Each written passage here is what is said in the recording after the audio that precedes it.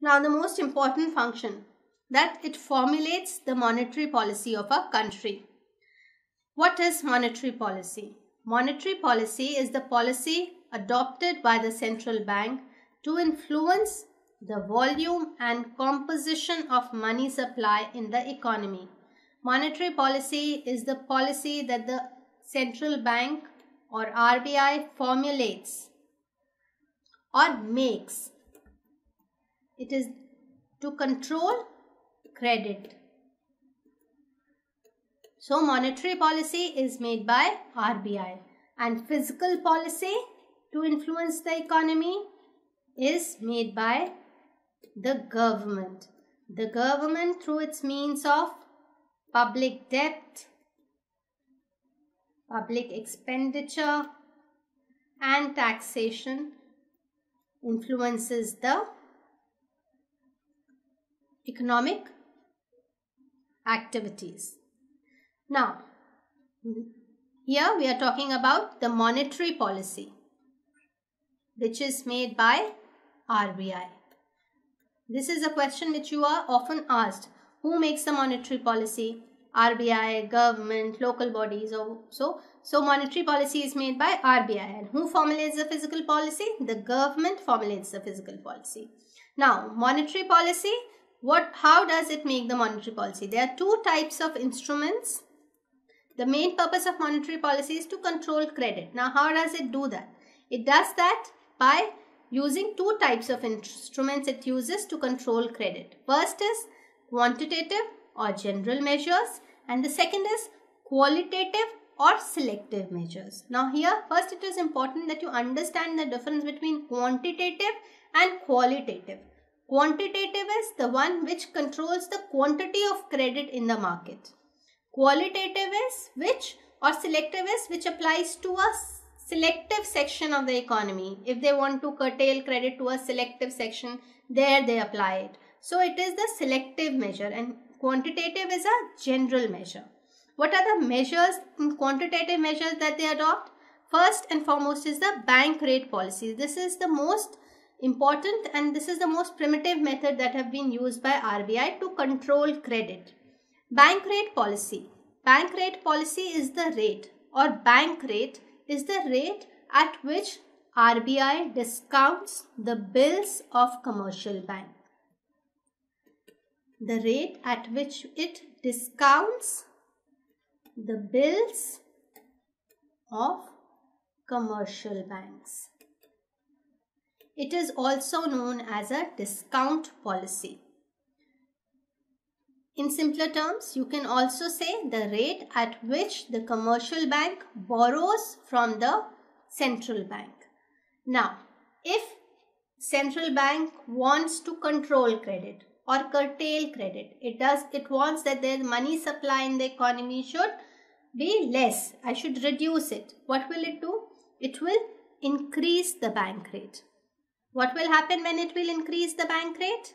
The borrowings of commercial banks will become expensive. The borrowings of commercial banks will become expensive. They'll be uh, lesser.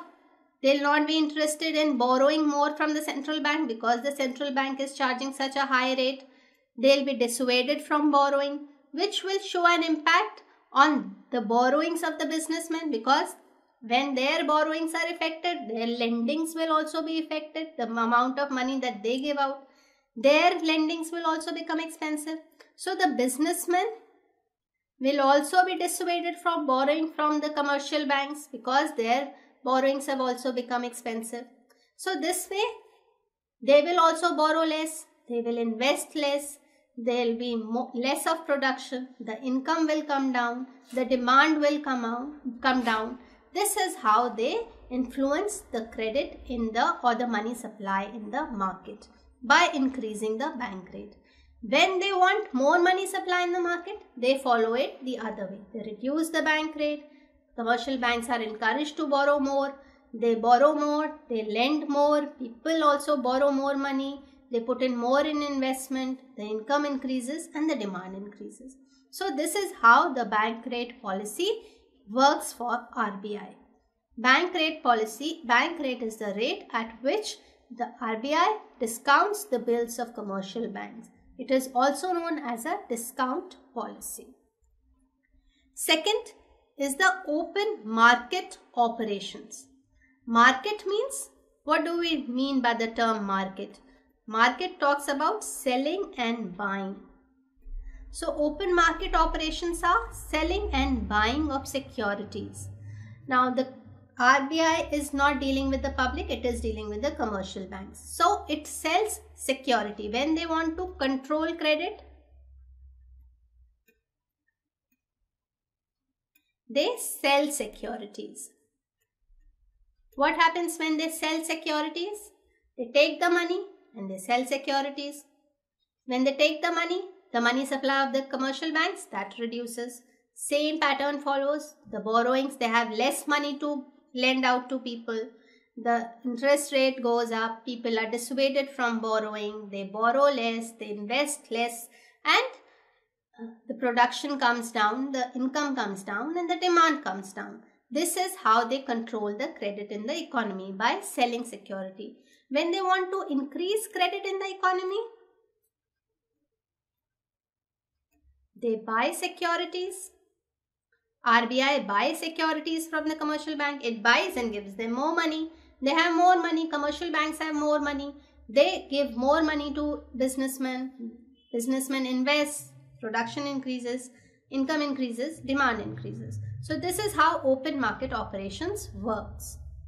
Now variable reserve requirements. Variable reserve requirement. Reserve means the stock. RBI asks the commercial banks to maintain two types of reserves. One is SLR or the statutory liquidity ratio and the second is CRR, the cash reserve ratio. SLR the banks have to maintain with themselves and CRR they have to maintain with the RBI, cash reserve ratio. What maintain? The total deposit that they have a certain percentage of their deposit they have to keep as reserve with the RBI. That is their CRR. A certain percentage of their deposit they have to keep with themselves as a reserve. That is SLR, Statutory Liquidity Ratio. When RBI wants to control the credit, it increases this rate, the reserve ratio. Reserve increases, they have to keep more amount of their deposit with RBI more amount of deposit as reserve with themselves so their liquidity or the money that they can lend out is reduced. So by increasing the reserve ratio, RBI controls credit.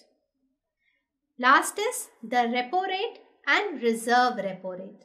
Repo, as the term suggests, is a short form of repurchase. Repo, as the word suggests, is repurchase when they have to repurchase of securities. Securities are sold with a promise of buying back in a short period of time. So, what does the commercial bank and the RBI? When commercial bank needs money, it buys, it gives its security to RBI and RBI gives money to the commercial bank with a promise that they are going to buy back these securities in a short period of time with a more amount of money. And similarly, reserve repo is when RBI, when RBI needs to cut down the uh, supply, they borrow money or they take the, they give the securities and take the money with the purpose of buying it back. So that is the reserve repo rate. Repo means repurchase of securities in a short period of time. So it is lending uh, between the reserve bank and commercial bank in a short period of time by selling and purchasing securities for a short period. So quantitative wise, there are four policies that it follows. It is the bank rate, open market operations, variable reserve requirement and repo rate and reserve repo rate. Now the other instrument that it uses to control credit is the qualitative measure. Qualitative or selective measure. As the term suggests, controlling the quality. It affects the quality of credit in the market and it is a selective measure. It is used, it is this kind of policy is used to affect not economy as a whole but it affects a, sec, a selected section of economy. So for that what do they do? Securing loans by fixation of margin requirements. Now when you have to borrow, what happens when you borrow from a sector? You have to give you have to mortgage a, uh, some amount of thing. If you want a loan of 1 lakh, you have to mortgage something. You have to mortgage, so the value of that mortgage they increase. So similarly, RBI also does that. It increases the margin requirements that you have to keep uh, for borrowing purpose. You have to keep more and more securities the commercial banks have to keep for that sector. So it uh, in, like the uh, it does not disencourages you from buying or giving loan to that particular sector. Then consumer credit regulation. How does it consumer affect the consumer credit? Consumer takes a credit by making a certain amount of down payment and for a fixed time period. So what does RBI does? It increases, it reduces your time period and increases your down payment. You have to pay more and you have to repay it in a shorter period of time. So all these things dissuade people from taking loans. Then it gives out directives at times oral, at times written to the central uh, to the commercial banks that they have to follow. Then they also release orders that credit they ration the credit that only this much of credit will be given to that particular section.